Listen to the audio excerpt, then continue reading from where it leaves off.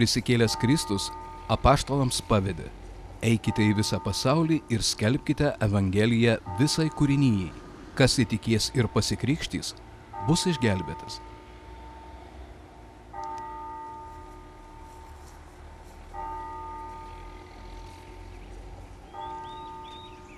1413 metais žemaičiai, vadovaujami valdovų Vytauto ir Jogailos, atsivėrė krikščionybei.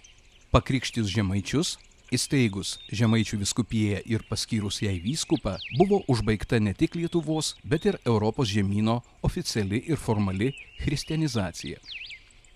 Krikštas mus panardina Dievo trejybėje. Dievo vardas tampa mūsų vardu, o mes tampame jo liudytojais. Būti pakrikštytam reiškia būti suvienytam su Dievu, o kartu ir su kitais žmonėmis. Krikšto dėka esame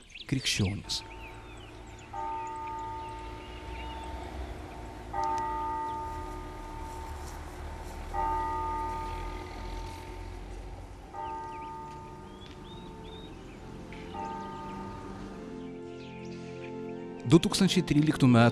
rūpiučio 1 dieną Telšių katedroje iškilmingomis šventomis mišiomis pradėta švęsti Telšių viskupijos ketvirtasis Eucharistinis kongresas, skirtas Žemaičių Krikšto 600 metų jubiliejui paminėti. Pirmieji du Telšių viskupijos Eucharistiniai kongresai įvyko tarpukaryje. Trečiasis Eucharistinis kongresas 2005 buvo surinktas Šveikšnoje telšiuose švento antano paduviečio katedroje vyskupas jonas burta pašventino žemaitijos krikšto šešių šimtų metų jubiliejui skirtą atminimo lentą. Pamoksle vyskupas priminė ką davė krikštas mūsų protėviams prieš šešis šimtus metų. Kėpkite ir gerkite iš jos visi, nes tai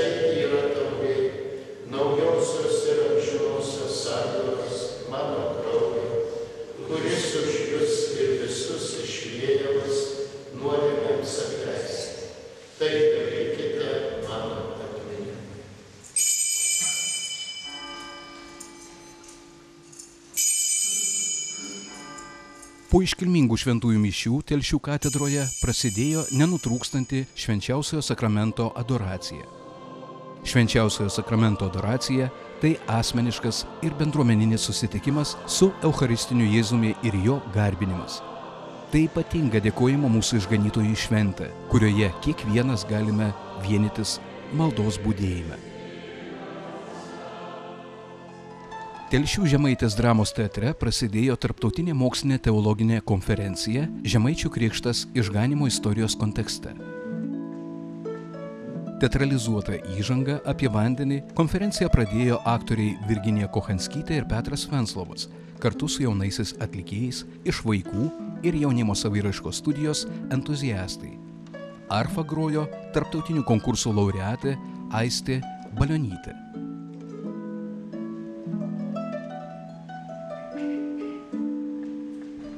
konferencijoje kalbėjo telšių rajono meras vytautas kleiva kada 1417 metais įsteigus Varnių viskupi- viskupiją ir sujungus Žemaitiją su Lietuvos valstybe atsivėrė kelias į Europą tiek politišką, politinę prasme, religinę prasme, kultūrinę prasme. Ir ko gero, neatsitik- neatsitiktinai ir šie metai kada Lietuva pirmininkauja Europos tarybai, o Lietuva ir kartu visa Žemaitija švenčia Žemaitijos Krikšto 600 metų jubiliejų. konferenciją vedė kunigas daktaras vladas gedgaudas pranešimus skaitė daktarė ingrida gudauskienė kunigas giovanni tangora profesorius kunigas vidas balčius kunigas daktaras arvydas ramonas alkos muziejuje buvo atidaryta paroda krikštas ir senieji dievdirbiai šią parodą pristatė muziejaus direktorė elvyra spūdytė. Įrengtoje ekspozicijoje kurią suformavo lietuvos nacionalinis muziejus buvo pristatyta žemaičių vyskupijos istorija. Parodą papildė alkos muziejuje saugomi autentiški eksponatai senųjų dievdirbių skulptūrų kolekcija Pirmą Žemaičių Krikšto 600 metų jubilėjaus dieną vainikavo evangelizacinis koncertas Telšių miesto amfiteatre. Antroji Telšių viskupijos ketvirtojo Eucharistinio kongreso diena prasidėjo šventomis mišiomis Telšių katedroje. Čia tęsiasi nenutrūkstama švenčiausiojo sakramento adoracija. Telšių rajono savivaldybės salėje surinkta Respublikinė mokslinė istorinė konferencija Evangelijos šviesa Žemaičiuose - šeši Krikšto istorijos amžiai. Kartu su jaunaisiais atlikėjais aktoriai Virginija Kochanskytė ir Petras Venslovas pasveikino konferencijos dalyvius. Sveikinimo žodį tarė ir Telšių rajono savivaldybės meras Vytautas Kleiva. Pirmą kartą mes sulaukėm tiek garbingų svečių ir kadangi Žemaičių Krikšto 600 metų jubiliejus, tai yra finalo pradžia. Mes dar turim daug, turėsim daug ir pranešimų, ir renginių iki pat 17 metų, bet aš labai džiaugiuosi ir sveikinu visus atvykusius šiandieną į šitą istorinę konferenciją. Konferencijoje sveikinimo žodį pasakė popiežiaus legatas Budapešto ir Estergomo arkivyskupas kardinolas Peteris Erdo. Lietuvos atsivertimas įvykęs prieš 600 metų buvo reikšmingas žingsnis krikščioniškos Europos formacijai, kuri nepaisant visų savo rimtų problemų, ieškojo bendro pagrindo tautų bendrystėje Kristaus tikėjime. Kardinolas kalbėjo apie krikšto svarbą žemaitijai, o kartu ir visai Lietuvai kuri po krikšto tapo pilna teise Europos nare ir aktyviai įsitraukė į jos gyvenimą. Konferencijoje visus pasveikino ir savo išvalgomis apie Žemaičių krikštą prieš 600 metų pasidalino Telšių vyskupas Jonas Boruta. Konferencijos atidarime dalyvavo apaštalinis nuncijus Pabaltijo kraštams arkivyskupas Luigi Bonaci, Telšių vyskupo pagalbininkas vyskupas Linas Vodopjanovas, kiti garbus svečiai. Pirmajam konferencijos posėdžiui vadovavo Lietuvos katalikų mokslo akademijos profesorius daktaras Paulius Subačius. Pranešimą apie Žemaičių krikštą ir pirmasis parapinės bažnyčias perskaitė daktaras Darius Baronas. Rašytinius šaltinius apibūdinančių Žemaičių krikšto aplinkybės konferencijoje išanalizavo profesorius daktaras Vytautas Ališauskas. Jėzuitai iš tikrųjų labai aiškiai matė paprastų žmonių gyvenimą ir užrašė tai, ką matė. Ir reikia turėti galvoje, kad jie užrašinėjo tai, kas jiems itin krito į akis. Iš tikrųjų, tai retenybės ir keistenybės. Jeigu dar randam tam tikras kaimo bendruomenės šventes, kurios galbūt siejamos, gali būti siejamos, bet ne tik Žemaitijoje, bet ir Lietuvoje, jeigu tai tokią perskirą drįsiu padaryti, gali būti siejamos su senaisiais papročiais, net kažkokiais aukojimų likučiais, tai vis dėlto labai aiškiai matome, kad tai yra visiškai ne kasdiena, ne masinis reiškinys. Teisybę sakant, paimsime 16 amžiaus Europos valstiečius, kurie jau gyvena ir 500 metų krikščionybė ir kiti gal ir ilgiau. Tie Europos valstiečiai yra išsaugoję daugybę keiščiausių kultų, prietarų, medžių garbinimų, akmenų garbinimų. Ir tai visiškai, visiškai nėra kažkoks ypatingas, itin savitas dalykas. 17 amžiaus situaciją Žemaitijoje apibūdino Mangirdas Bumblauskas. Profesorius habilituotas daktaras Alfredas Bumblauskas pasidalino savo įžvalgomis apie žemaičių christianizacijos kelią. 16 metų žemaičių krikšto akcija 2000 pakrikštytų tiesiogiai liūdėjimų šaltinių yra būtent Kauno pily. Ir tada pradėjau galvoti, kaip tas galėjo vykti. Ir sugalvojau, kad iš tikrųjų nėra tik, yra viena logika. Yra logika Kaunas, panemuniai šiek tiek, tada prie Seredžiaus į Ariogalą, tada Ariogalui turbūt labai status yra Dubysos šlaitai. Tada reikia šiek tiek toliau važiuoti, užteko tiek. Vytautui reikėjo 60 žmonių, kurie nuvyktų po to į Konstanciją. Kiek jis galėjo pakrikštyti čia kažkur, va, staigiai nuvykęs. Docentas daktaras Liudas Jovaiša analizavo 17 amžių. Pranešime kritinis diskursas ar literatūrinė vaizduotė. Norėčiau dar dėti vieną istorinę vietą ir istorinį miestą prie to žemaičių kristianizacijos kelio. Alfredo Bumblausko minėto, tai būtų trakai, kaip tik tarp Vilniaus ir Kauno. Trakai ta vieta, kur pasiuntiniai parašė savo ataskaitą Konstancijos susirinkimai, trakai ta vieta, kur buvo konsekruotas, šventintas pirmasis žemaičių, e, žemaičių vyskupas.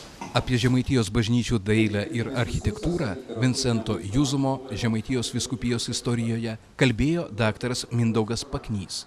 Konferencijoje buvo kalbėta apie Šventos Onos brolyje Žemaičių viskupijoje, apie vargonus ir juos kūrusius vargonų meistrus, o taip pat po krikšto atsiradusius liturginius giesmynus ir gėdojimo ypatumus. Telšių menų inkubatoriuje buvo atidaryta paroda Žemaičių krikštui ir Žemaičių viskupystai 600 metų. Parodos lankytojus pasveikino Telšių vyskupo Vincento Borisevičiaus kunigų seminarijos prefektas kanauninkas Andrėjus Sabaliauskas, Lietuvos Respublikos Seimo narys Valentinas Bukauskas, Telšių rajono savivaldybės meras. Aš nustebęs jūsų aktyvumu. Aš jau be galo jūs myliu Veslaitį, bet dabar dar labiau myliu visas. Ačiū labai. Apie parodą mintimis pasidalino Telšių apskrities archyvo direktorė Alma Jankauskienė. Pasidžiaugti noriu, kad pirmą kartą telšiuos yra parvežti dokumentų originalai iš istorijos archyvo.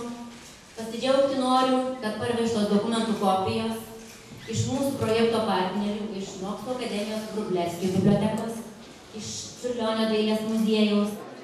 Parodoje lankytojai susipažino su senais dokumentais, fundacijų aktais, metrikų knygomis, parapijų ir viskupijos žemėlapiais nuotraukomis. Didelį susidomėjimą kėlė įvairūs senieji rašytiniai šaltiniai, saugomi Lietuvos centrinėme istorijos Martino Mažvido ir kitose archyvuose.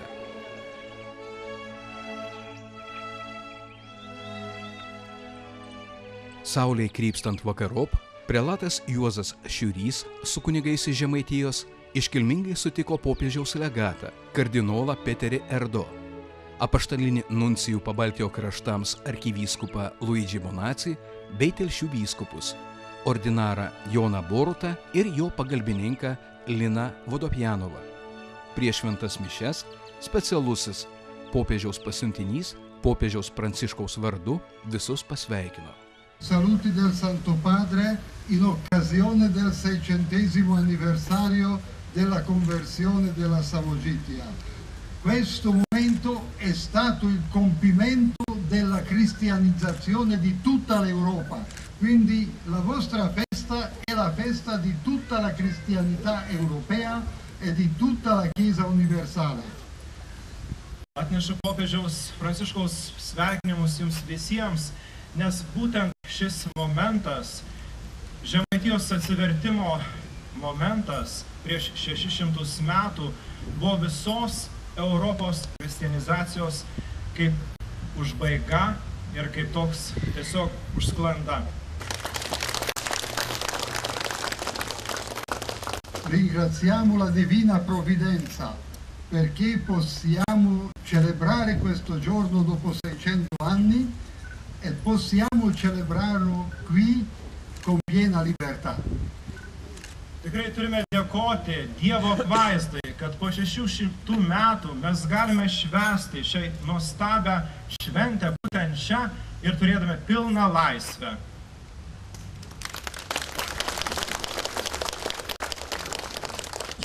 Auguro a tutti noi e anche a tutto il popolo della Lituania che la fede sia forza e fonte di speranza e ottimismo anche per la nostra vita futura. Linkiu jums visiems ir visai Lietuvai, kad viltis mus stiprintų tikėjime ir vestų mus į priekį. Telšių švenčiausios mergelės Marijos ėmimo į dangų bažnyčios šventoriuje buvo aukojamos iškilmingos šventosios mišios. Mišioms vadovavo popiežiaus legatas, kancelebravo apaštalinis nuncijus arkivyskupas Luigi Bonaci, telšių vyskupas Jonas Boruta, jo pagalbininkas vyskupas Linas Vodopjanovas. In nomine Patris et Filii et Spiritus Sancti. Pax vobis. Sakydamas pamokslą, specialusis popiežiaus pasiuntinys išryškino tikėjimo svarbą ir vienybę su Kristumi būtinybę. Jis kvietė visus atverti širdis Dievo maloniai ir jo veikimui. Šventų mišių metu gėdojo Telšių švenčiausios mergelės Marijos ėmimo į dangų jaunimo choras, vadovaujamas vargonininkės Ernestos Dargužienės.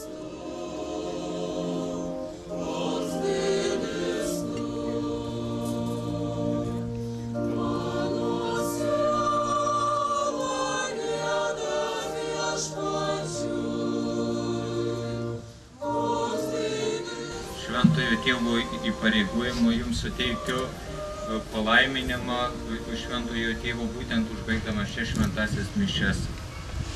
Dominus vobiscum. Sit nomen Domini benedictum. Aiutorium nostrum in nomine Domini. Benedicat vos omnipotens Deus, Pater et Filius et Spiritus Sanctus. Amen. Ite missa est.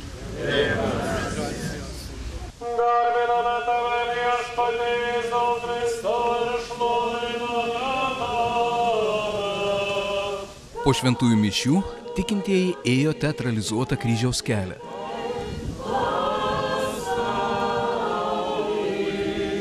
Procesijos priekyje nešamas specialiai šiam kryžiaus keliui išdroštas kryžius. Jis bus pastatytas kestaičiuose augančiame Telšių viskupijos kryžių kalnelyje. Kryžiaus kelią pradėjo Telšių vyskupas Jonas Boruta. Procesija pajudėjo Telšių miesto gatvėmis. Į ją įsijungė Žemaitijos jaunimas, šeimos, šaulių organizacija, organizacija Bočiai, Klaipėdos Marijos taikos karalienės parapijos choralo grupė. Kryžiaus kelio stutyse buvo skaitomi Štutgofo koncentracijos stovykloje kalėjusio kunigo Stasio Įlos parašyti kryžiaus kelio apmąstymo tekstai. Pirmą kartą tu palūšti viešpatie po baise našta. Jis sunki, žinau, net tavo dieviškai žmogiškiems pačiams. Kas jei tavo vietoje būtų žmogus, jei jį kas išplaktų, skaudžiai sumuštų, pamarintų ir dar po to lieptų nešti sunku kryžių.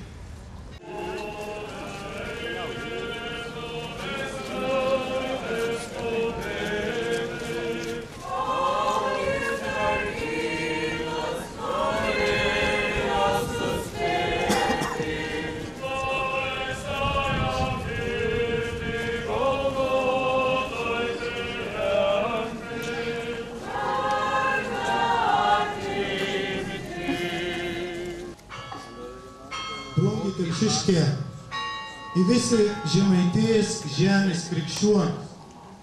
Skausmus, kuriuos kentėjai buvo taip, graus, kurieji buvo taip.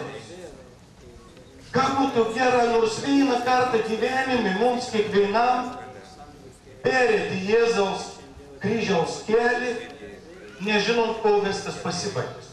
Nežinant, ką prisikels. Ką būtų gera. Ir dabar, kada mes minam žemaičių krikšto jubiliejų, kaip sako Benedikt XVI popiežius, kad krikštas nėra priespauda, krikštas nėra našta. Mums išlaisvė jumis viskas. Viešpatie Dieve, mum, į jums, į mums visiems, tas krikšto jubiliejus duotų tą naują širdis ognį, kad kiti žmonės žiūrėdami mumis suprastų, kad mes esam pondėjimo vaka.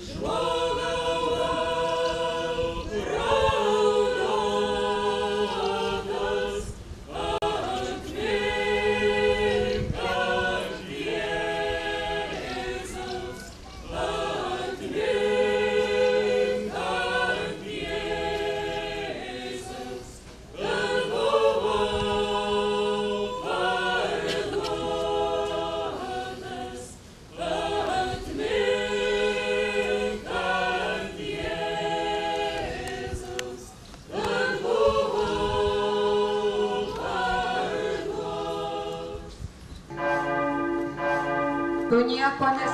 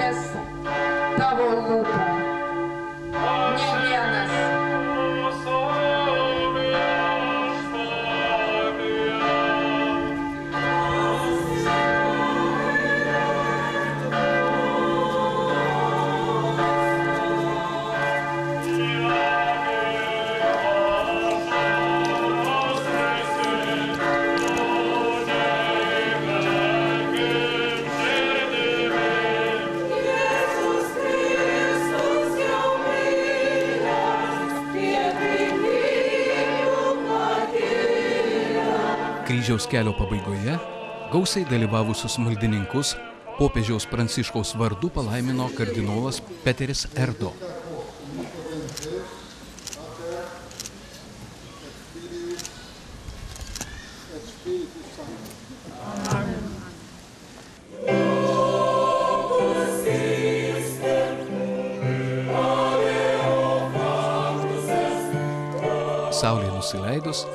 Telšių miesto amfiteatre skambėjo sakralinė muzika, kurią atliko Telšių miesto kultūros centro mišrus choras Žemaičiai, vadovaujamas Gintaro Vaitkaičio.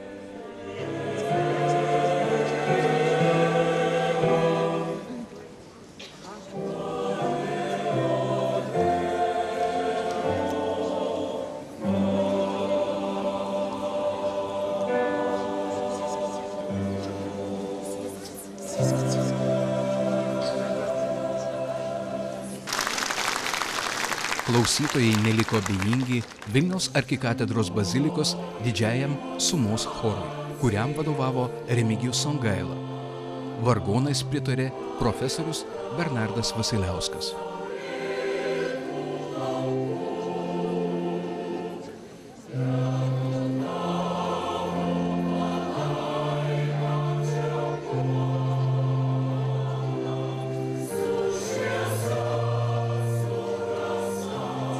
Trečioji jubiliejinio Eucharistinio kongreso diena prasidėjo šventomis mišiomis Telšių katedroje.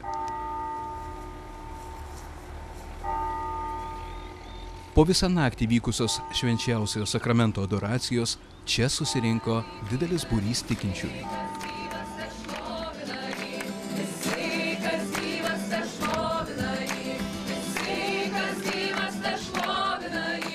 Iš visos telšių viskupijos susirinkęs jaunimas rūpiučio trečios dienos rytą būriavosi prie Šatrijos kalno. Čia prasidėjo Žemaitijos katalikiškojo jaunimo diena. Jaunimą pasveikinti atvyko popiežiaus legatas kardinolas Peteris Erdo. Jaunimas ant Šatrijos kalno šlovino viešpatį, gėdojo giesmes ir meldėsi.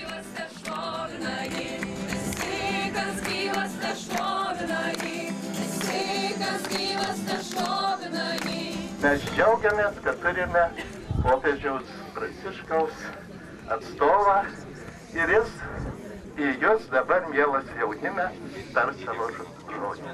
Salve Gesù Cristo.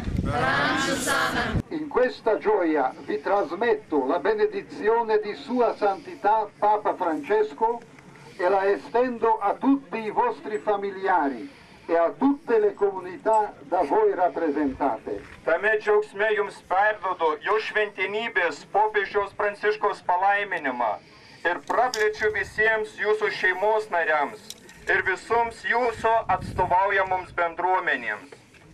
Dominus vobiscum. Et cum spiritu tuo. Benedicat vos omnipotens Deus, Pater et Filius et Spiritus Sanctus. Amen.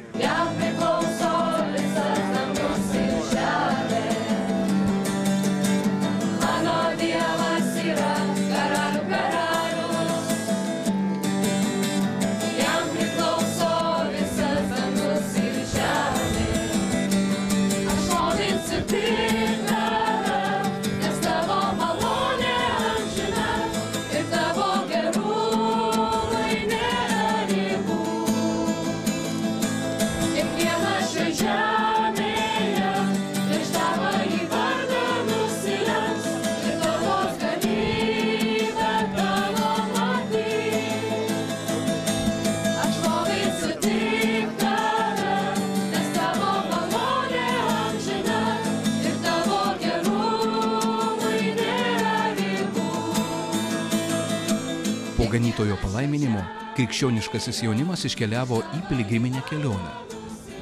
Šios kelionės metu iš Šatrijos kalno į Luokės bažnyčią jaunimas kalbėjo rožinį.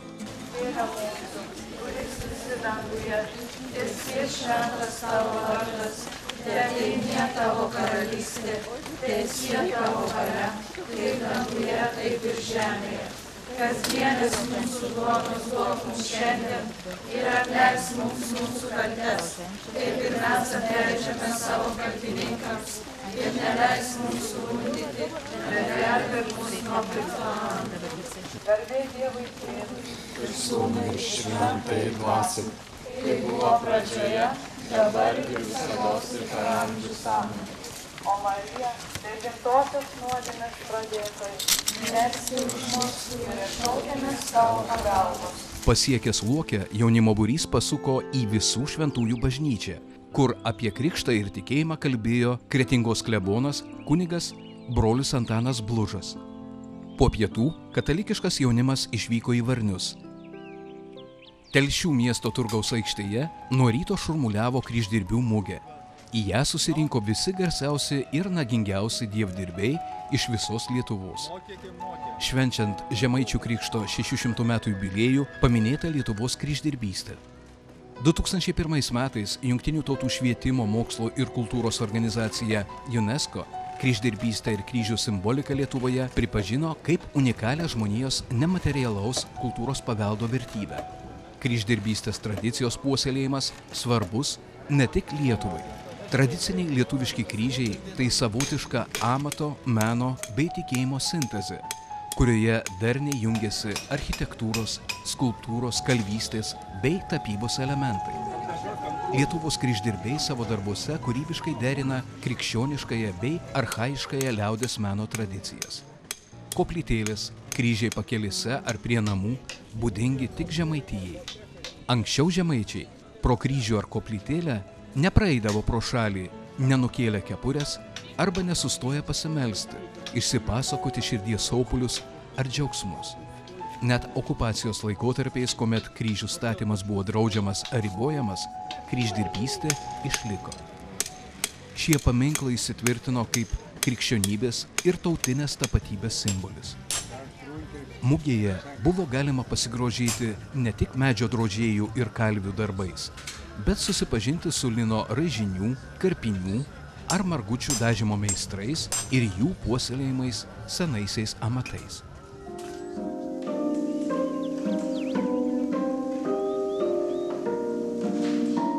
Telšių parodų salėje atidaryta paroda skirta šiandienos dievdirbiams bei jų darbams. Kryžius ar koplytėlė svarbus sodybos atributas saugantis ją ir jo šeimininkus nuo nelaimių savotiškas šeimos dvasinis centras. Neatsitiktinai tarp sodybos koplytėlėje ar koplytstulpėje esančių skulptūrų būdavo ir šeimininkų šventųjų globėjų atvaizdai. Labai dažnai čia dedamas šventas Jurgis, laikomas namų ūkio, ypač gyvulių globėjų. Sodyboje medinis paminklas būdavo neįsivaizduojamas be nukryžiuotojo ir švenčiausios mergelės Marijos. Sodyboje esantis kryžius ar koplytėlė atspindėjo tam tikrą socialinę padėtį.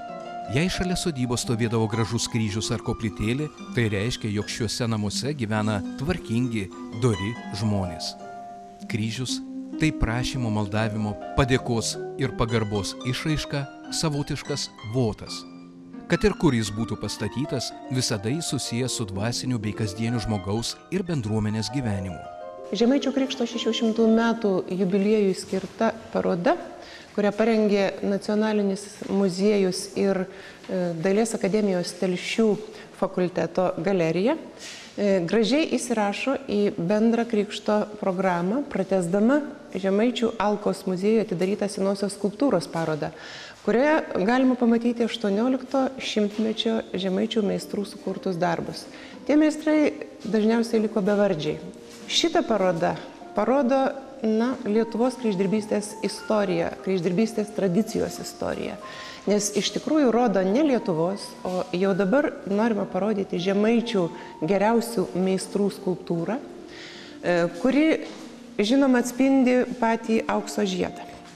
Aukso žiedas įvairaus amžiaus dievdirbių, kryždirbių, nuo patyrusių meistrų, kurie žinomi visoje Lietuvoje, iki jaunų meistrų, žengiančių šiandieną į dievdirbių pasaulį, kryždirbių pasaulį. Beveik visi meistrai turi savo mokinius ir tuo užtikrina kryždirbystės tasą. Jeigu visas praėjo epochos, sovietmetis, kuris šlavė ir naikino, nesunaikino ir nenunešė, o per pastarąjį dešimtmetį nepriklausomybės išsiskleidė kryždirbiai ir jų darbai ir tokia gausa ir tokia meninė jėga, tai iš tikrųjų yra tikrai šimtmečius trunkanti tradicija. Neveltui mes su ja išėjome į pasaulį ir esame pasauliui žinomi pirmiausia su Lietuvos kryždirbystės tradicija.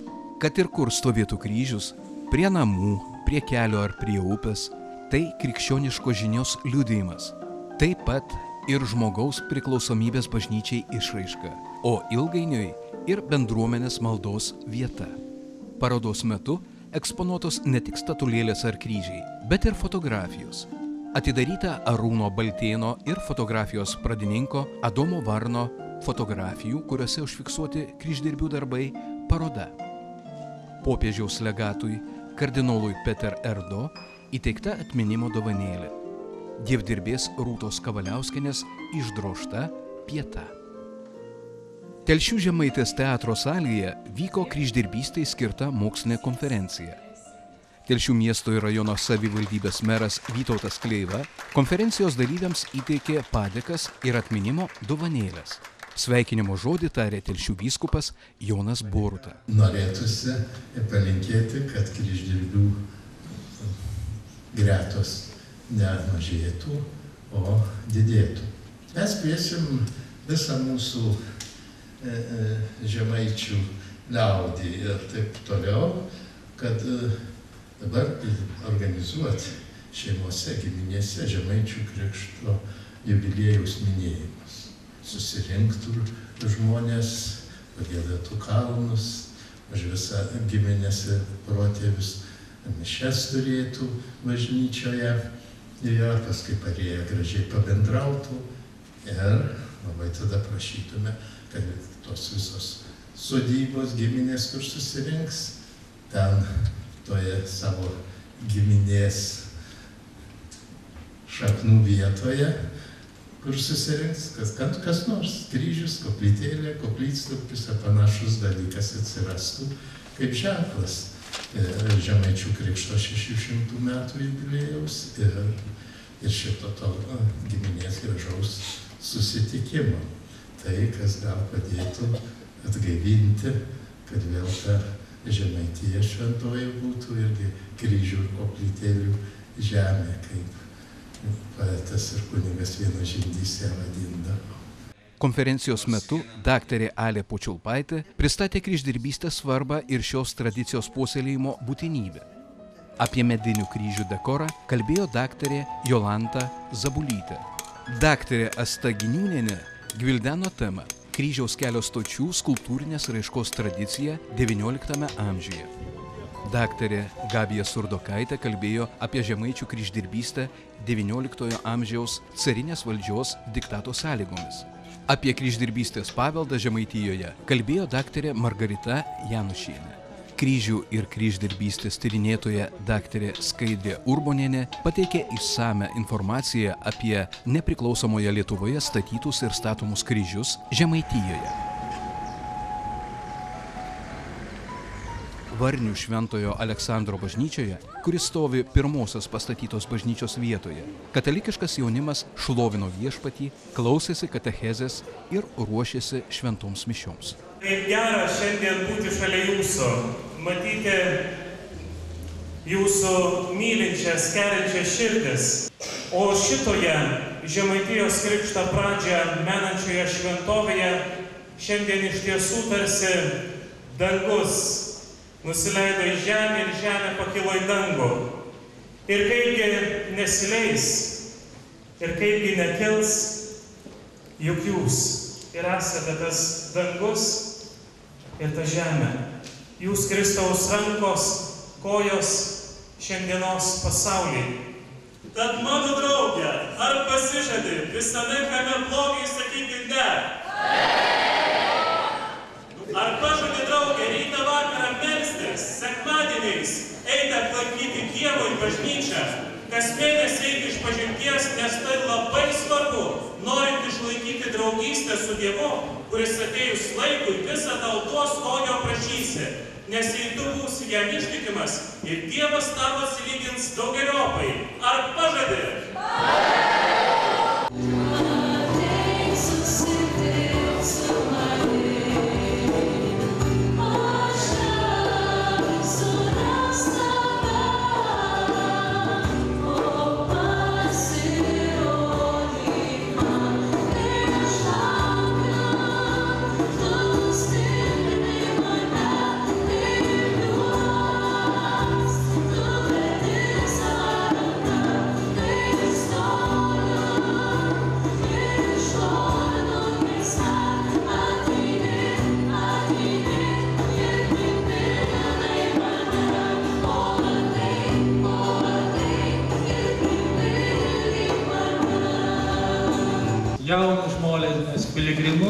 tikinčiuosius.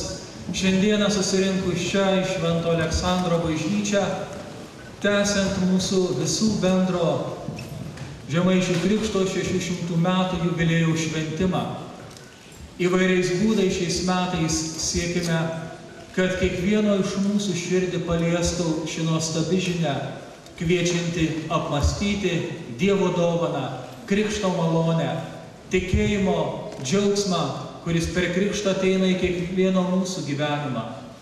Ir tai yra svarbu ne tik mums tai suprasti, ne tik tai priimti, bet kartu ieškoti ir būdo, kaip kitam galėtumėm paskelbti krikšto malonės džiaugsmą ir juo pasidalinti su savo bendramžiais, su savo draugais.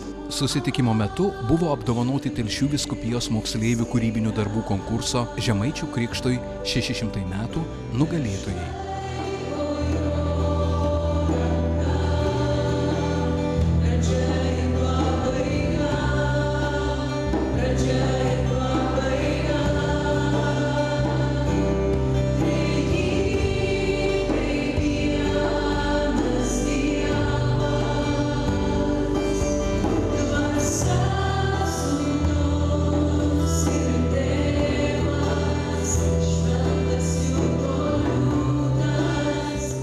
Buvusios Varnių katedros parapijos klebonas kanauninkas Jonas Petrauskis su žemaitijos kunigais iškilmingai sutiko atvykusi popiežiaus legatą, apaštalinį nuncijų pabaltijo kraštams ir abu telšių vyskupus.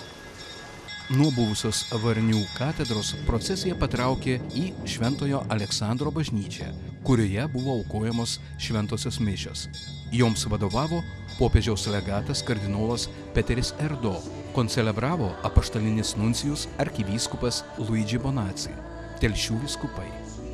Šventose mišiose patarnavo telšių kunigų seminarijos auklėtiniai. Cari fratelli e sorelle, anche oggi siamo di fronte al mandato missionario di Cristo. Brangus broliai ir seserys, ir šiandien stovime Kristaus misijinės pasiuntinybės akivaizdoje. Siamo grati per la grazia della fede e del battesimo, della nostra appartenenza alla Chiesa. Esame dėkingi už tikėjimo ir krikšto malonę, už mūsų priklausomumą bažnyčiai. Esame dėkingi už tikėjimo šviesą. Esame dėkingi už sunkius metus, kurie paskatino kai kurias kartas ieškoti ir išsaugoti mūsų tikėjimo ir žmogiškųjų vertybių esmę. Metai, kurie būtent dėl daugybės trūkumų išmokė tikinti žmogų būti dosniu ir ištikimu net kankinystės kaina. Jauskime atsakomybę dalinti savo tikėjimo patirtimi ir su tais mūsų broliais, kurie gyvena kitose pasaulio dalyse, ar su tais, kurie gyvena čia, tarp mūsų, bet galbūt yra abejingi ar dar neprisilietę prie tikėjimo patirties. Dar kartą jums kartoju, nes ir šiandien Kristaus mokinių uždavinys yra misija Lietuvoje, misija Europoje ir misija visoje žemėje. Dio benedica la Lituania, Nostra Signora, Regina delle famiglie cristiane, prega per noi. Tutti i santi martiri della Lituania, pregate per noi. Amen. Dievas te laimina Lietuvą, Marija, krikščioniškų šeimų karalienė, melskite už mus. Visi šventieji Lietuvos kankiniai, melskite už mus. Amen. simili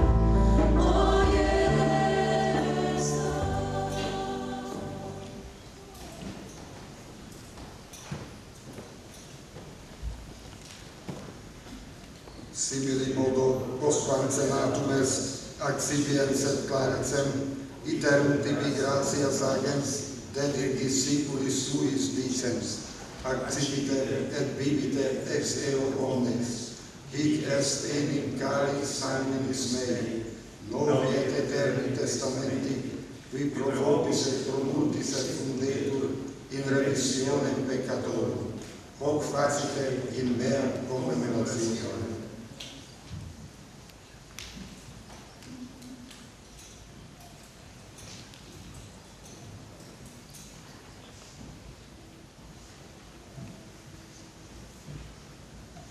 mistério um filho.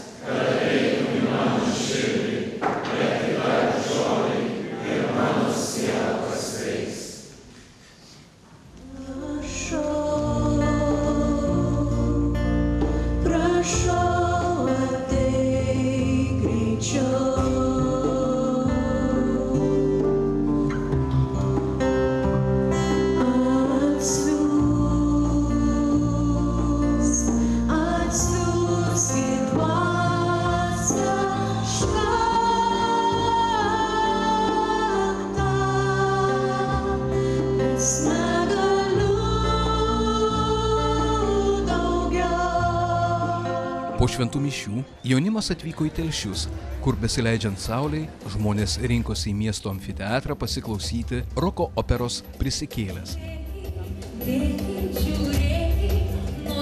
Kalno leidžias viešpats,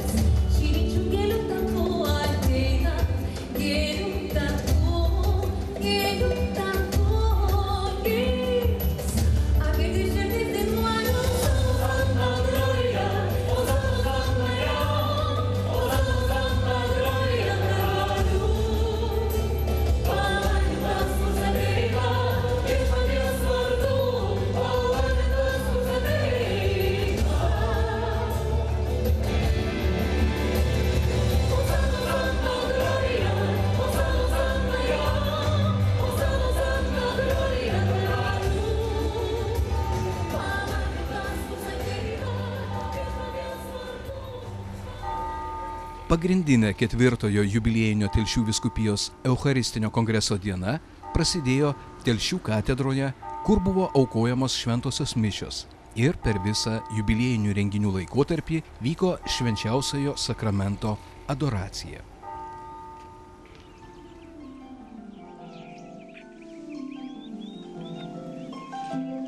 Nuo ankstaus ryto iš visos Lietuvos į telšius rinkosi žmonės. Miesto aikštėje vyko katechezė ir iškilmingas šlovinimas. Mes būsime čia įsiklausydami į giesmes ir kartu gėdodami. Mes būsime čia klausydamiesi katechezių. Tam, kad iš tikrųjų tas mūsų šventimas būtų tikras, nuoširdus ir parengtas susitikti viešpatį. Kad jis tikrai galėtų padrasinti mus kiekvieną atpažinti, kaip jį atpažino mūsų protėviai prieš 600 metų, kai tapo krikščionimis katalikais.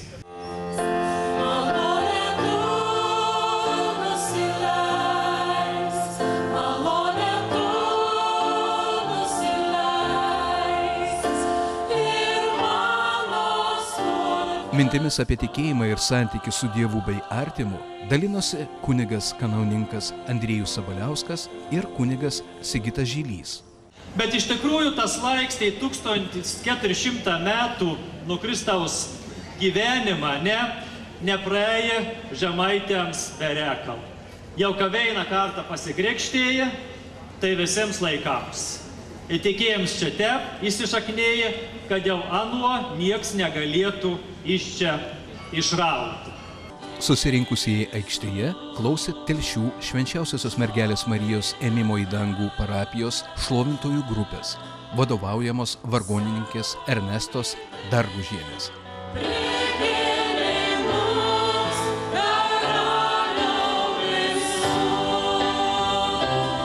Telšių žemaitės dramos teatre vyko iškilminga žemaičių krikšto 600 metų jubiliejaus paminėjimas, kuriame dalyvavo garbus svečiai - bažnyčios hierarchai, kunigai, Lietuvos Respublikos vadovai, Seimo nariai. Renginio metu Lietuvos dailės akademijos profesoriui daktarui Adomui Butrimui ir Telšių dekanato dekanui prelatui daktarui Juozui Šiuriui suteikti Telšių miesto garbės piliečių vardai, įteiktos regalijos.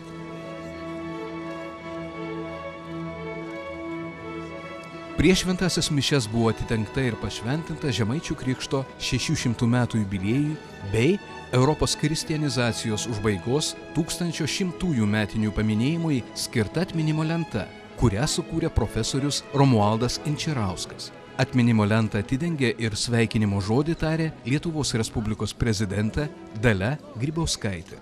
Šią progą atidengėme atminimo lentą, kurios įrašas parodo, kokie svarbus Europos ir krikščionybės istorijai buvo žmonės stovėję čia, kalvotose Žemaitijos apylinkėse. Žemaičių krikštas žymi ne tik Lietuvos, bet ir viso Europos žemynų krikštymosi pabaigą. Todėl vakarų istorijoje, neatsiejamoje nuo krikščionybės, užsispyrę žemaičiai visada išliks kaip paskutinės pagoniškos žemės šeimininkai. Lentą pašventino ir visus susirinkusius pasveikino telšių vyskupas Jonas Boruta. Melskimės. Dieve, tavo žodžiu viskas pašventinama, tad palaimink šią atminimo meninę plokštę, skirtą Europos žemynų gyventojų evangelizacijai ir krikštui, taip pat žemaičių krikštui paminėti. Prašome per Kristų mūsų viešpatį. Amen.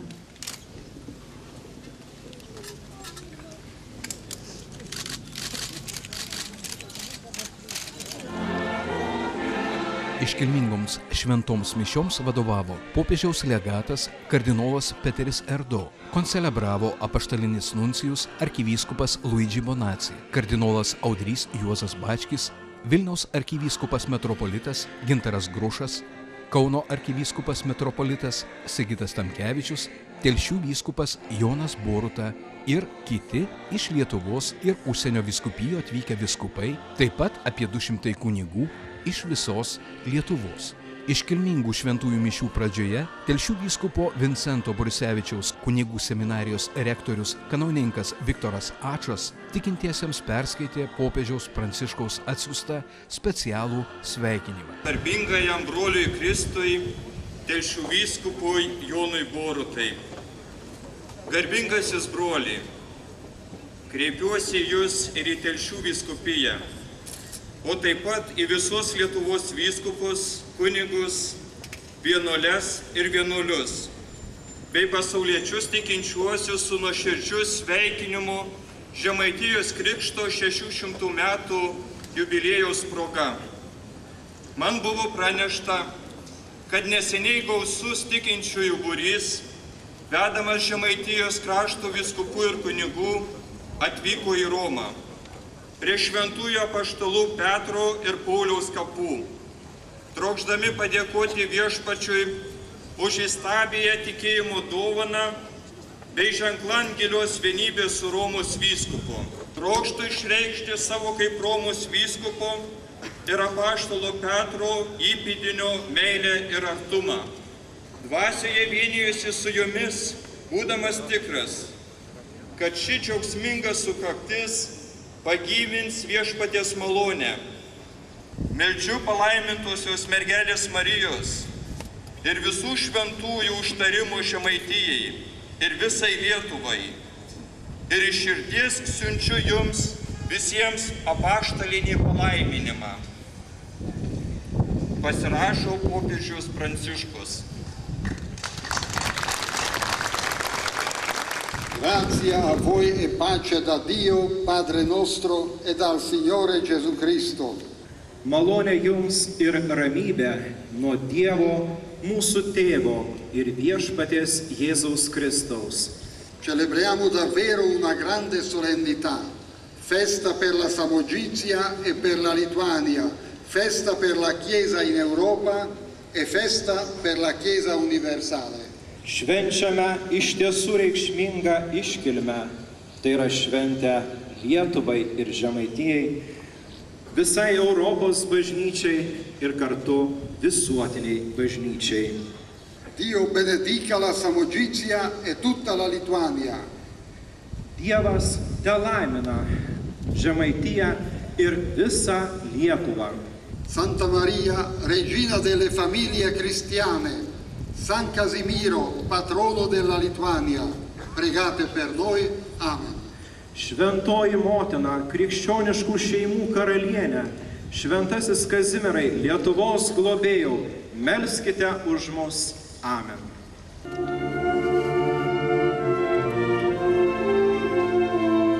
Per šventasias mišes ir Eucharistinės procesijos metu, vadovaujant Klaipėdos universiteto profesoriui Gediminui Purliui bei jungiantis kitiems vargonininkams, grojant Klaipėdos karinių jūrų pajėgų pučiamajam orkestrui, gėdojo iš visos telšių viskupijos atvykusių choristų jungtinis choras.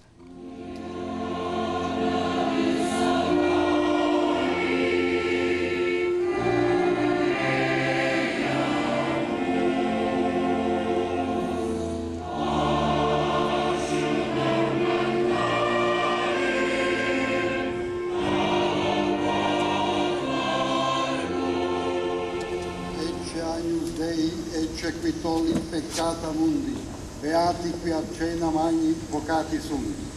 Viešpatie, nesu vertas, kad ateitum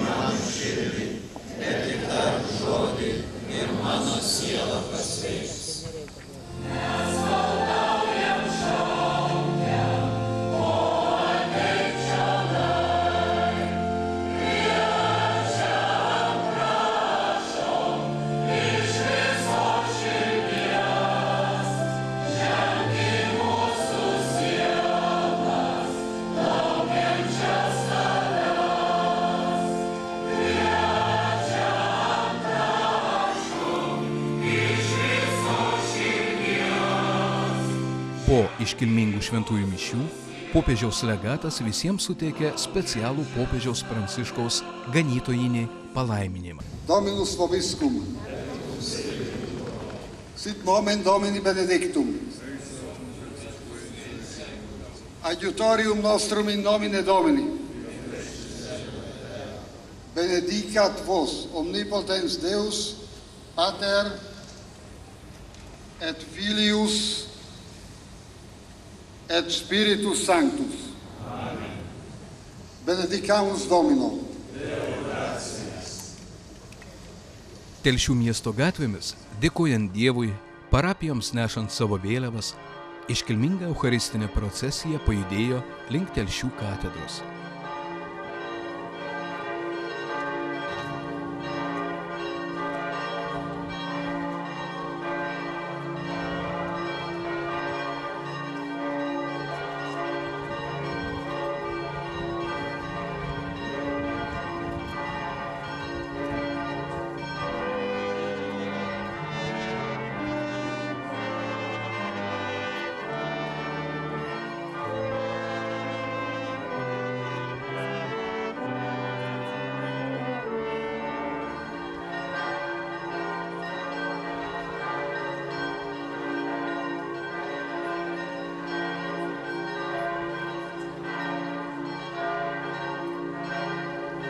Iškilmingomis pamaldomis ir procesija į Telšių Švento Antano Paduviečio katedrą buvo užbaigtas ketvirtasis jubiliejinis Telšių viskupijos Eucharistinis kongresas, skirtas Žemaičių Krikšto 600 metų jubiliejui paminėti.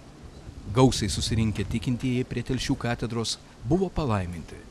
Po palaiminimo padėko žodį tarė Telšių vyskupas Jonas Boruta. Būti visiems drauge, vieni kitiems padėti ir tas melancholiškas kryžius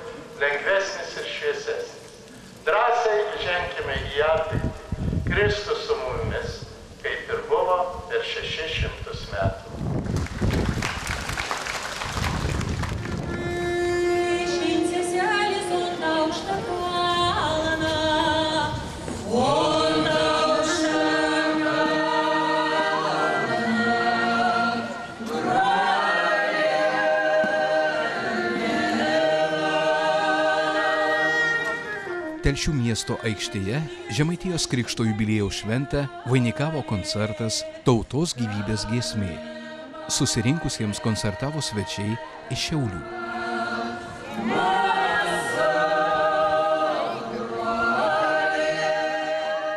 kada prieš 600 metų žemaičiai buvo pradėti katechizuoti, tai pirmoji malda, kurio jie išmoko, buvo Tėvė mūsų. Kada pradėjome jubiliejaus tos iškilmes, taip pat pradėjome su šitą maldą. Taip gražiai visas dienas sėmėsi tos dvasinės, kultūrinės, žemaitiškos tokios dvasios. Užbaigime su nuoširdžia malda, kurią pats Dievas Jėzus Kristus mus išmokė. Visi garsiai, kiek dar turit jėgų, imkime sukalbėkim Tėvę mūsų. Tėvę mūsų, kuris esi danguje, te esi šventas tavo vardas, te ateinė tavo karalystė, te esi tavo valia, kaip danguje, taip ir žemėje. Kasdienis mūsų duonos duok mums šiandien ir atleisk mums mūsų kaltes, kaip ir mes atleidžiame savo kaltininkams ir neleisk mūsų gundyti, bet gelbėk mus nuo pikto. Amen. Kol žemaičių žemėje šitą maldą skambės, žemaičiai bus gyvi, žemaičiai bus tikintis, einantis ne tik šio žemės, bet ir išganimo keliu. Tegu jūs visus gerasis Dievas laimina. Eucharistinis kongresas Telšių viskupijoje baigėsi, tačiau jubiliejiniai renginiai tęsis.